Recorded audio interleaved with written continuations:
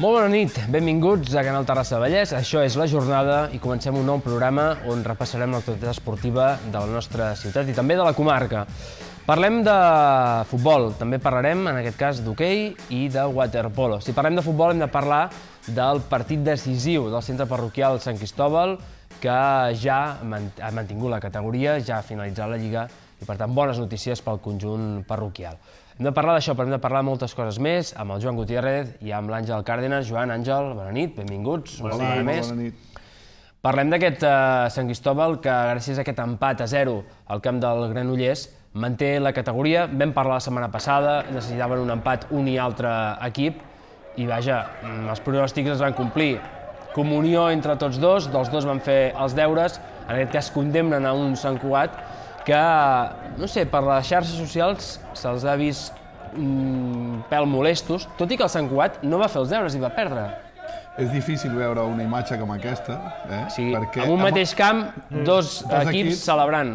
Celebrant, i bueno, ningú es va sortir del guió, que jo crec que estava bastant definit, no? perquè eh, ja vam parlar de que aquí eh, l'interès era de sumar un punt eh, tant al Sant Cristòbal com al Granollers, i en aquest cas vam fer els deures, o sigui, tots dos van sumar el punt i, i d'aquesta manera salvaven la categoria tots dos, condemnant, com tu deies, el Sant Cugat, que bueno, va tindre la seva oportunitat fa vuit dies, no la va aprofitar i en aquest sentit eh, li va deixar bastant planer el terreny tant el Sant Cristòbal com el, com el Granollers.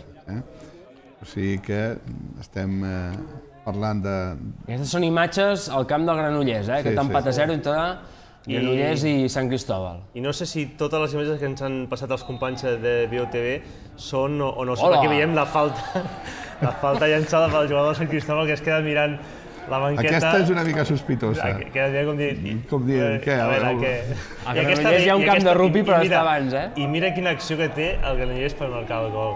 Al segon temps i es lamenta d'aquella manera el jugador. Bé, que cadascú doncs, tregui les conclusions que considerin, però evidentment que era el que més beneficiava l'empat. Aviam, no ens enganyarem ara, i si algú no esperava això, malament, s'equivoca, no? Home, s'equivoca de totes totes perquè jo crec que els dos equips arriben amb els deures fets, tots dos saben que, bueno, eh, després es pot parlar de, de lo que es vulgui. No estem parlant d'un equip que s'ha deixat guanyar per perjudicar un altre, sinó que són dos equips que, que saben que l'objectiu és sumar un punt i que, bueno, que, que això s'ha donat eh, des de que el futbol és futbol.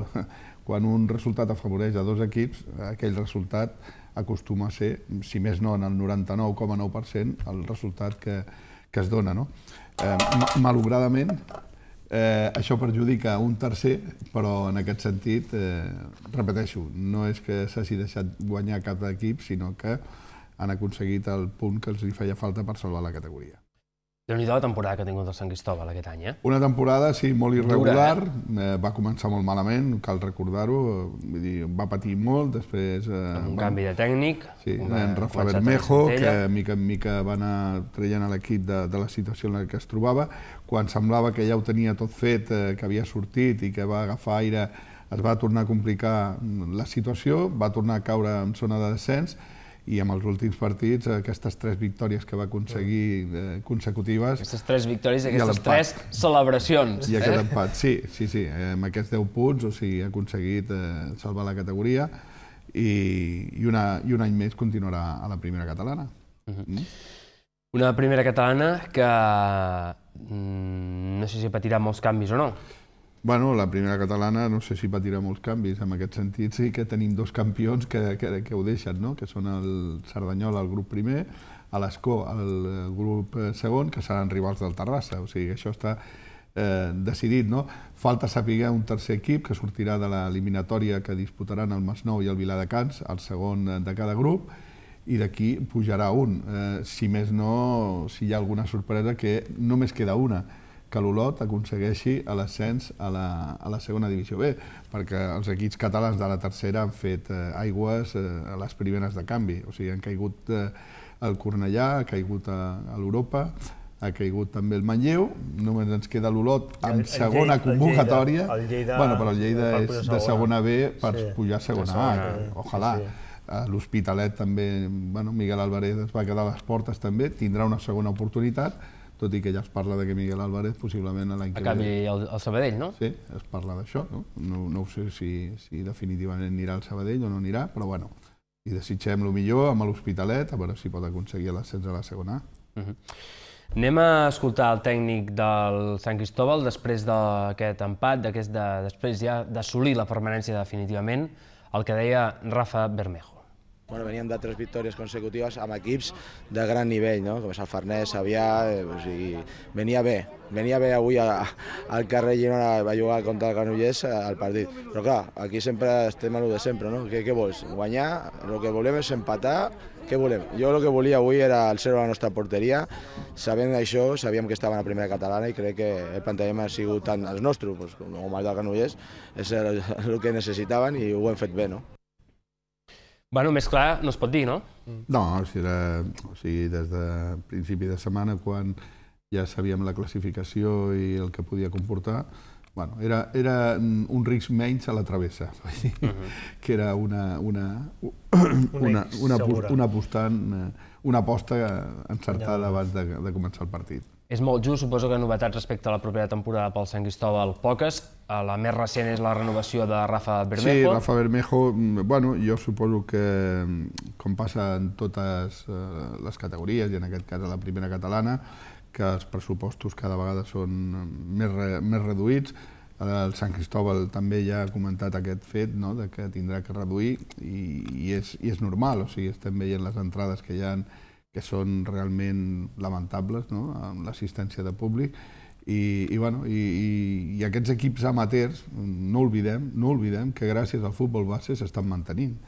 O sigui, les quotes que paguen els pares de, dels nens que, que van a l'escola i les categories inferiors fan possible que encara tinguem equips en categories amateurs, però això arribarà un dia que s'acabarà també i, i en aquest sentit eh, bueno, cal, caldrà veure quin, quina, és, quina és la plantilla que pot confeccionar el Sant Cristóbal de cara a la propera temporada. Uh -huh.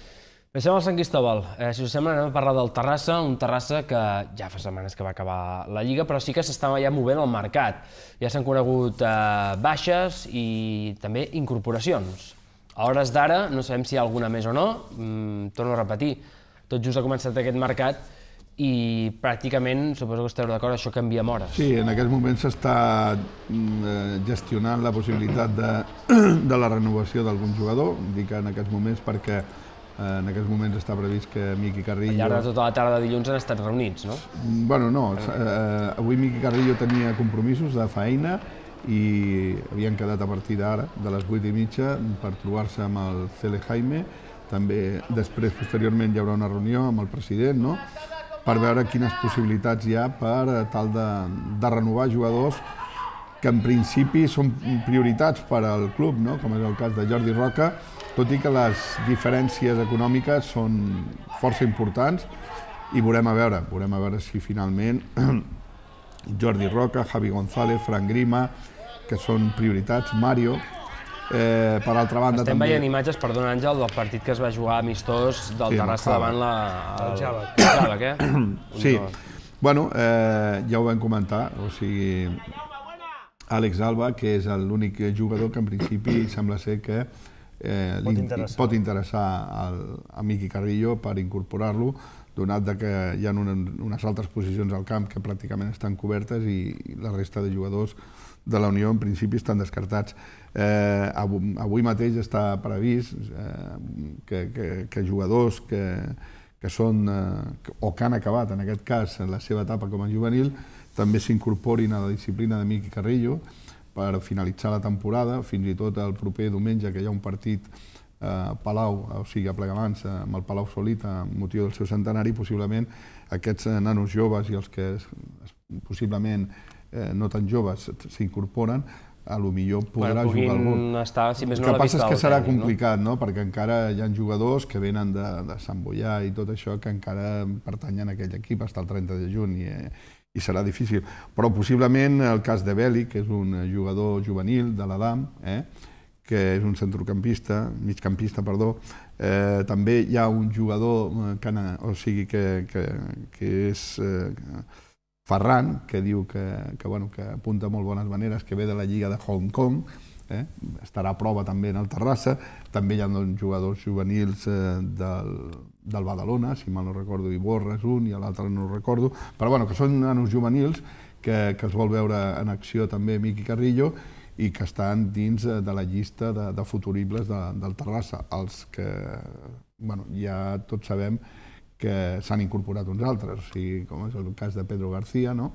de Fuentes, eh? d'aquests jugadors que, que venen... Gallar. Bueno, Gallar ja és de la casa, però aquests que ja tenen una experiència, no? per dir-ho d'alguna manera, uh -huh. del Prat i del Sant Boià, i, i, bueno, i amb els que han renovat veurem a veure com, com, queda, com queda el planter. Bueno, suposo que en els propers dies anirem coneixent també més noms, més altes, més sí, baixes. Sí, avui el que possiblement també estava més, eh, més proper és eh, prendre una decisió al respecte d'Alberto García i de Ramon Suárez. Uh -huh. Vull dir, possiblement en els propers minuts eh, eh, es pugui saber alguna cosa.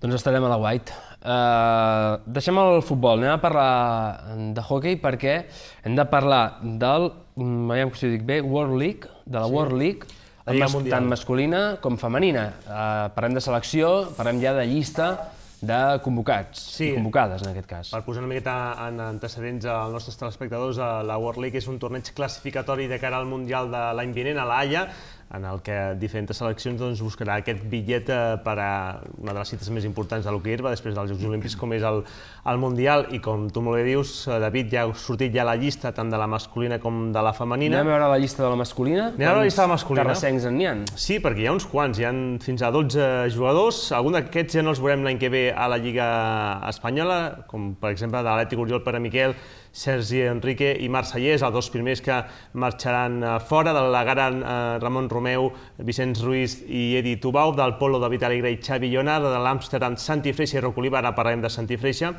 del d'en Bosch Quico Cortés i del camp holandès en Ramon Alegre. Aquesta és la llista que ha facilitat a Salva Indurain aquesta concentració que començarà aquest dijous al camp federatiu de Terrassa a partir de dos quarts d'onze del matí, una sessió d'entrenament dijous, divendres, dissabte i diumenge, amb dos partits amistosos, dijous al camp del Polo i el cap de setmana serà al federatiu, tots dos partits contra Nova Zelanda. Deia que de parlar de, de Santifreixa. de Santifreixa perquè tot i ser a la llista, eh, Santi Freixa ha hagut de passar pel quiròfan per problemes amb el genoll esquerre. No se sap si jugarà, bueno, se sap no, no jugarà a la World League, que tindrà lloc a Rotterdam, i veurem si arriba a l'europeu, que s'ha de jugar aquest eh, mes d'agost, que també arribarà molt justet, veurem com evoluciona d'aquesta intervenció que li han fet al Santi Freixa. Uh -huh. Això pel que fa a sí, eh, bueno, el cas de Santi Freixa com comenteu, és una baixa important de cara a aquesta competició, però bueno, jo crec que l'objectiu està centrat en l'europeu i, i veurem a veure. No? Eh, jo espero bueno, una selecció eh, amb, amb ganes, perquè si no, la veritat que ho passarem malament. Eh, sembla que estem una mica agafats darrerament i fins i tot també veiem que encara no acaben de sortir eh, jugadors eh, joves eh, amb, amb, amb projecció. No? Estem encara tibant de, de gent com Quico Cortés, com Edi Tubau, com a tota una sèrie de jugadors que encara eh, es mantenen a la selecció, però que els hi arribarà un moment que tindran que deixar-ho, no? com ha sigut el cas de, de Pol Amat, que ja ho va fer l'any passat. No?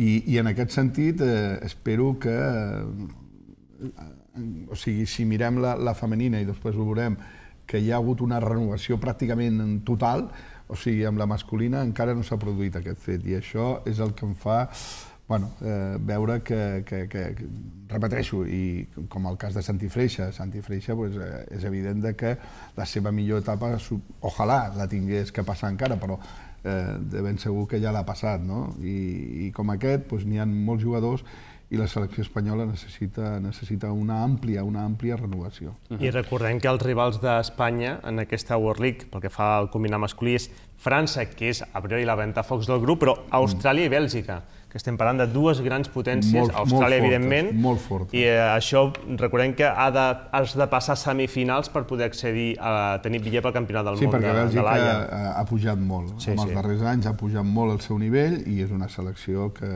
que a hores d'ara, fins i tot, eh, bueno, eh, serà possiblement la, o sigui, una mica eh, per veure la capacitat que té la selecció espanyola d'anar cap a dalt. Anem a veure la llista de la selecció femenina i hi veiem les terrassenques, en aquest cas, que hi han, uh, menys en aquest cas, però Són una set. llista molt més renovada.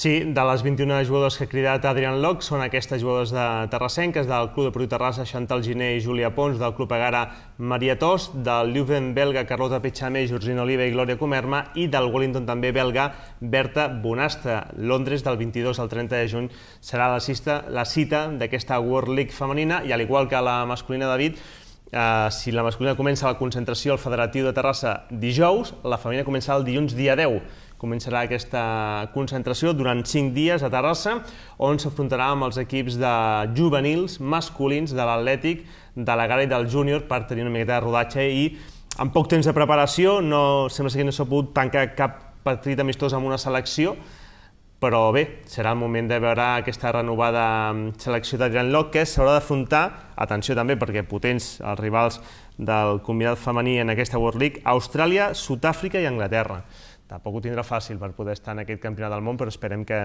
mica en mica aquesta renovada sí. selecció pugui... Eh, eh, jo crec que aquesta, home, no li podem demanar resultats eh, d'avui per avui, sí, però, però si jo crec que és una selecció en futur, o sigui, hi ha molta qualitat, gent molt jove, i aquí sí que veig eh, més de futur, no? O sigui, el que s'ha fet amb la selecció femenina es tindrà que fer en la masculina, més aviat o més tard es té que fer, no?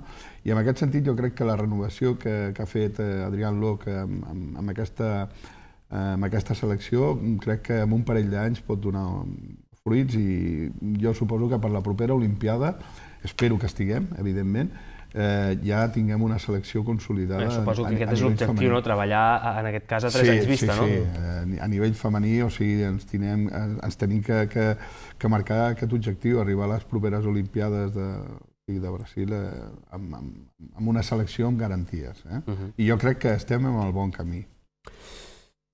Parlem de waterpolo?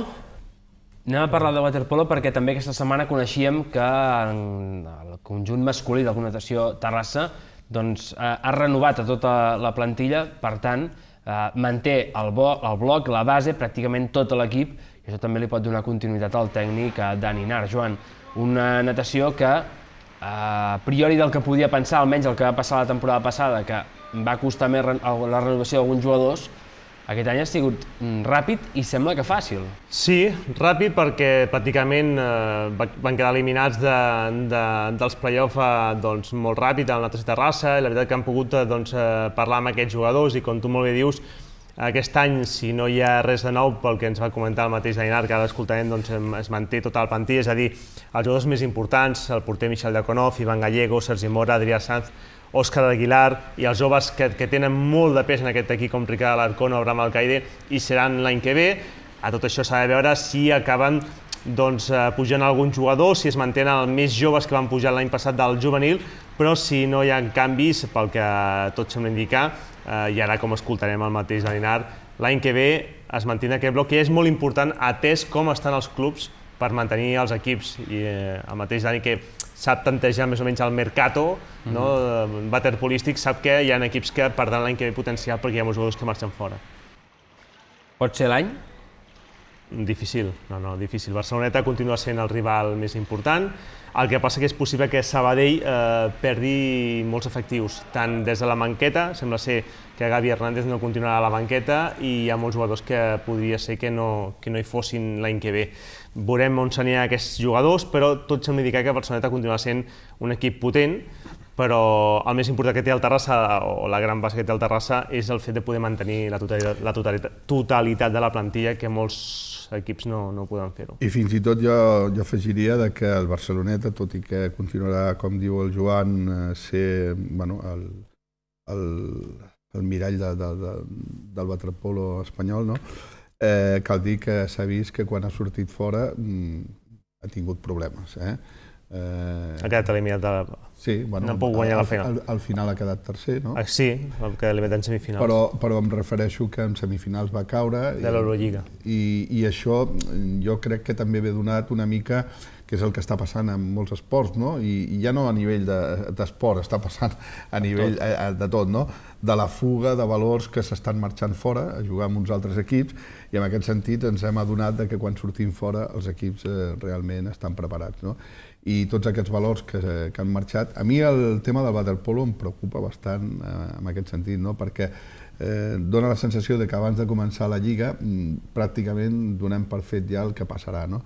Així com la, la competició, eh, o sigui, també femenina, i entre cometes, traient el, el, el campió, la resta, doncs, bueno, encara hi ha hagut una mica d'emoció i per la part de baix, que dona la sensació que en la categoria masculina el Terrassa, el seu sostre, ja el sap, i el Sabadell fins ara ho sabia, no? eh, que era intentar de sorprendre el Barceloneta, i la resta, pues, tres quarts de lo mateix, el Barcelona, i després mires avall. Vull dir, és, és, una, és una competició tan, tan, tan, tan planera que, que, que, no, que, que ha perdut una mica l'emoció. Per això eh, també... Eh, això haurem de fer alguna norma, no?, com passa els motos no, al cotxe, no posar l'astre jo, jo alguns jugadors de Barceloneta... Jo, jo, no, jo estic bastant d'acord també que... Què vols fer amb això? És que és no, difícil. Eh, a, nivell, a nivell estatal, sí, home, a nivell estatal fer una lliga regular sense play-off, perquè és que si no, no té emoció. Com va, passar, com va passar la temporada passada? Jo crec que hi ha molts tècnics que ho demanen, no? perquè si té una ensopegada al Barceloneta és quan pots tindre una opció, però amb un playoff és molt, molt difícil, molt complicat. Anem a escoltar el tècnic de l'augmentació Terrassa, Dani Nart. Aquesta temporada que ve eh, podem comptar amb la plantilla de, que, que, que acabem d'acabar aquesta temporada, i estem molt contents de que sigui així. Uh, estem veient que hi ha moltes dificultats pels clubs per intentar mantenir els recursos econòmics per, per eh, poder mantenir aquesta, les seves respectives plantilles. Nosaltres vam fer un esforç molt important els dos últims anys. Uh, aquest any doncs, tenim la sort de que ja hem fet els deures i que podem mantenir els recursos i això fa que tinguem molta estabilitat i que tinguem un altre cop un, un, un grup molt conjuntat per poder afrontar la, la, la Lliga de la millor manera possible. Els jugadors han d'estar tranquils, saben que tenen continuïtat amb nosaltres i, bueno, i, i això es nota, això es nota. Saben que quan tu estàs en plena temporada i estàs sentint veus de que hi ha clubs que ho estan passant molt malament, doncs els nostres jugadors ten, poden tenir la certesa doncs, que tenen certa estabilitat en el nostre club, que això no ha de canviar i això es nota en el joc. En principi és l'estructura de la plantilla és la mateixa, és una plantilla que per dalt és molt més eh, veterana i per sota doncs, és una suma d'experiència doncs, que, que cada cop ha de produir més, més rendiment. Potser els clubs no podem atreure jugadors importants d'estrangers, seguirem amb, amb el que podem produir en els nostres clubs, però això fa moltes vegades que també creixi amb il·lusió, creixi amb entusiasme la, la, la voluntat de fer el millor possible, no? I això és la, la, la demostració és aquest any, nosaltres, no? Després d'haver patit dos anys d'haver d'ajustar-nos, d'haver perdut jugadors molt importants, com el Sasha Nagy, l'Esvilem Piralkov, el Florin Bonca, jugadors importantíssims, doncs el club, a poc a poc, el grup, s'ha agafat aquestes responsabilitats i amb treball i sobretot amb entusiasme doncs, han aconseguit tirar-ho endavant. Pot ser que es perdi cert atractiu si deixem de tenir jugadors eh, importants. És una llàstima, cert, que és una llàstima que hagin de marxar fora com ja han marxat aquest any. Probablement sí que s'hagi perdut algun jugador important, però que els clubs sí que és cert que farem un esforç tots en què el nivell de la competició no baixi. I això fa doncs, bueno, que, aquesta, que, que tots els clubs puguem perdre punts en, en llocs que a priori doncs, no, o històricament no s'hagin pogut perdre. Jo et puc dir que el club no s'ha manifestat en aquests moments. No s'ha manifestat. Si ens hem de valdre per la tendència, per la realitat actual del club, no sembla que hi hagi un condicionant que ens faci pensar que anem a Europa. Parles de Dani Nart. Sí, això és un factor afegit, no?, el que comentàvem, no?, de, de la fuga de, de jugadors, el fet de que es, després el jugador doncs, no tingui aquesta motivació afegida de poder anar a participar en competició europea, que és eh, on realment eh, troben a, o sigui, la possibilitat també de, de trobar clubs que puguin estar interessats en ells i, uh. -huh. bueno, i treure profit, no? Però en aquest sentit sembla que eh, si no surt un sponsor eh, molt aviat, ho tenim complicat de veure el Terrassa Escoltarem jugar. de seguida Xavi Pérez i acabem, el tècnic sí. també en categoria de l'equip femení de waterpolo, tres quarts del mateix també. En definitiva, doncs, eh, continuïtat de totes les jugadores, en principi, Joan? Sí, eh, no és una plantilla tan professionalitzada com la de la masculina i en definitiva és així tota la lliga femenina, però sí que l'equip del Xavi Pérez mantindrà la totalitat de la plantilla si no hi ha cap canvi d'última Escoltem a Xavi Pérez. La majoria d'elles, o totes, tenen la, la intenció de seguir, de seguir eh, l'any que ve aquí. Sempre cada any rebrem, re, rebem eh, jugadores que, que s'ofereixen, que volen venir aquí, però aquest club és un club una mica, una mica eh, especial. Jo no només miro el, la qualitat com una qualitat individual que pugui tenir, tenir una jugadora, sinó el, el principal per mi és la qualitat personal que tingui i ha d'encaixar molt bé dins d'aquest perfil i el que tenim un equip on jo aposto molt, molt, molt per la, per la gent de casa i per la gent que estem treballant a la base i que vingui algú de fora sempre, sempre és, és complicat. Nosaltres, les jugadores que estem agafant aquestes últimes temporades són jugadores que encaixen molt bé amb la, amb la dinàmica que tenim al, al club i, i a dins de l'equip. I això... Paraules de Xavi Pérez fent aquesta valoració també. Ho hem de deixar aquí, no tenim més temps. Joan Àngel, fins la propera. Ens veiem la propera, propera setmana. Dilluns, Nosaltres sí, tornem dilluns que ve. Bona setmana, que vagi bé.